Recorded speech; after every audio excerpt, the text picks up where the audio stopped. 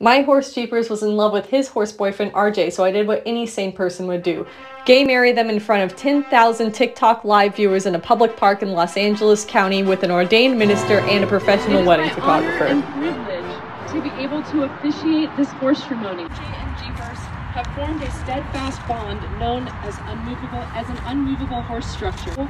We ask that you all raise your hands, hooves, and paws in a triangle as such Keep your triangles up as I read this poem from the legendary Walt Whitman, who apparently was also maybe a gay horse.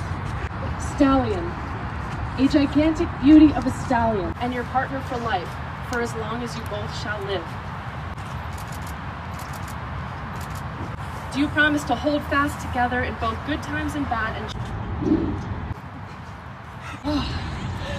Oof. Jeepers. Do you promise not to face kick? To scratch RJ's back and be there in his spookiest times?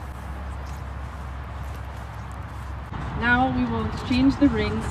A ring is like an arena. It represents an infinity circle that is not broken unless your horse is a little athletic shit and jumps right out of it. Presence of these loved ones and strangers on the internet, and by the power vested in me by an online service that took five minutes and a minimal fee, I am delighted to pronounce you no longer gay horse boyfriends, but gay horse husbands you may now embrace.